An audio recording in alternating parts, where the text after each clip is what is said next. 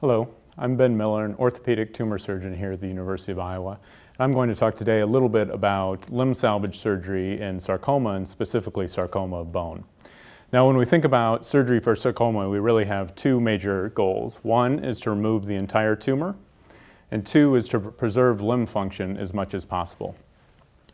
Now, the way we go about doing this, first is to determine where um, in the bone the tumor actually is. Now, if you look back 30 years ago, the treatment of sarcoma essentially consisted entirely of amputation. So what's changed in the last 30 years that now we're able to do limb salvage in essentially 95% of these cases? Well, one thing that's changed is now we have better treatments other than surgery, meaning we have chemotherapy and in occasional circumstances we have radiation therapy. This allows the tumor to stop growth, it defines our boundaries a little bit better, and it allows us to be closer to the tumor without so much of a consequence of local recurrence. A second thing that's changed is now we have MRI to help us tell where the tumor starts and stops.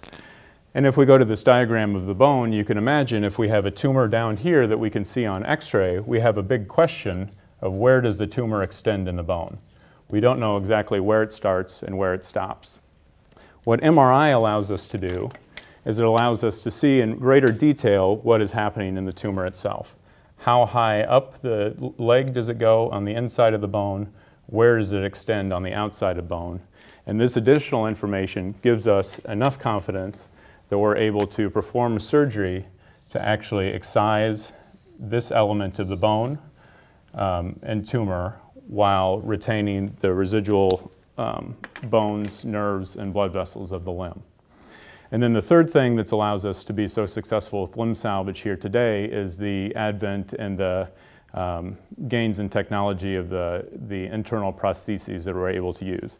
Once we have to take the bone out, we leave a very substantial bony defect. This has to be filled in in such a way either with cadaver bone or with uh, metal implants. Um, the concept that we use now is a concept of modularity, meaning that we can actually build up patient-specific implants based upon the size of the patient and based upon the size of the bony defect that we remove. This is an example of what we would call an oncology prosthesis. So once we remove a large defect in the bone, as I alluded to before with surgery, we're able to successfully build this up and reconstruct a joint using this metal prosthesis which is fixed into the bone at either end.